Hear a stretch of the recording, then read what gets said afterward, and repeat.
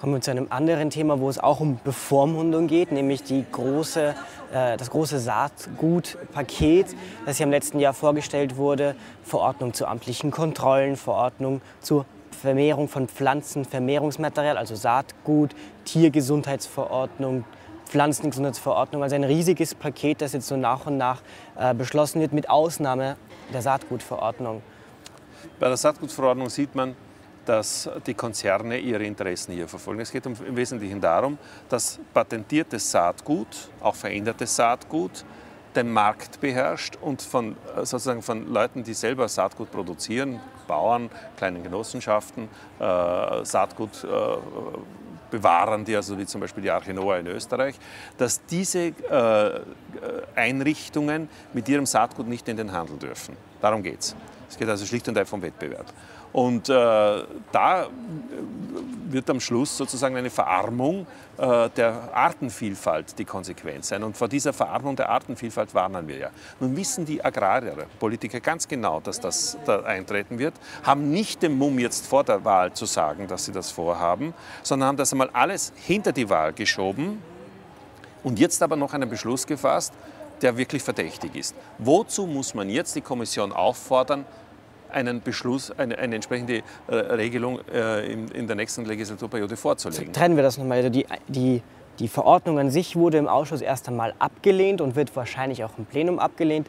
Aber diese Entschließung, die es da nebenbei gab, ganz unbeachtet, wo es ja drin heißt, an einem Punkt, dass die Sortenschutzgesetzgebung intensiviert werden soll, zu begrüßen sei. Das ist ja.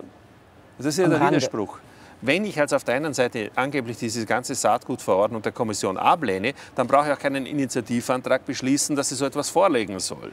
Ja, das ist ja, das ist ja absurd. Ja? Das, ist, das kommt mir so vor, wie wenn, wenn ich äh, eine, eine, äh, ein Menü am, am, Tisch ablehne, aber gleichzeitig dem Wirt sagt, bitte legen Sie mir das äh, am Nebentisch wieder vor. Ja?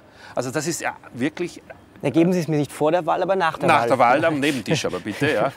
äh, weil jetzt kann ich es noch nicht essen. Jetzt schaut man mal zu. Ja. Also das ist wirklich verräterisch. Und daher sieht man auch, wie dumm, für wie dumm die, äh, man die Leute verkaufen möchte.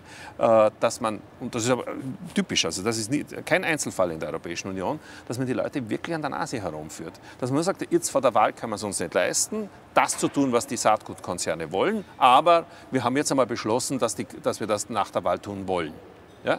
oder tun sollen. Das ist also eine, eine unglaubliche äh, Irreführung der Bevölkerung, insbesondere jener, die davon betroffen sind. Und das ist eine wirkliche äh, Verhöhnung äh, der, der, der, der, Bürger draußen. Und das muss man auch den, im Wahlkampf, glaube ich, äh, deutlich sagen, damit auch die Leute hier sehen, dass sie auch hier es notwendig ist, Widerstand zu leisten. Verfahrensrechtlich ist noch ein zweiter Punkt interessant. Wenn die Saatgutverordnung vom Parlament abgelehnt wird, heißt es ja nicht, dass sie vom Tisch ist. Denn äh, der Rat der EU hat dazu einen Standpunkt, wo wahr, auch ja. die Landwirtschaftsminister alle drin sitzen. Und, die sind Und wenn die dann nach den Wahlen sagen, wir wollen aber daran festhalten am Entwurf, ja. dann wird es für das Parlament ja wahrscheinlich nicht so leicht, das in einer Trilog, Kompromissverhandlung wieder abzulehnen. Nicht nur das, sondern insbesondere dann nicht, wenn man so widersprüchliche Beschlüsse fasst mit welcher Begründung soll das Parlament, insbesondere das nächste Parlament, so eine Saatgutverordnung, die noch einmal gegen die äh, Sortenvielfalt gerichtet ist, äh, ablehnen, wenn man jetzt sagt, dass die Kommission soll sowas vorlegen. Dass man aber derzeit sozusagen sich nicht zu beschließen getraut. Also das ist, ich sage es noch einmal, das, sieht, das ist ein exemplarischer Fall, wo man sieht, für wie blöd man die Leute verkauft. Und ich kann nur jedem sagen, bei der, am 25. Mai bei der EU-Wahl äh, sich zu wehren. Ja, ich kann nur jedem Bürger sagen, wehrt euch, wehrt euch mit uns. Das ist auch der Grund, warum ich noch einmal antrete. Wehrt euch, lasst euch das bitte nicht bieten. Gebt ihnen eine Quittung. Und zwar auch jenen, die hier mitspielen. Und das sind insbesondere die Vertreter äh, der beiden Koalitionsparteien.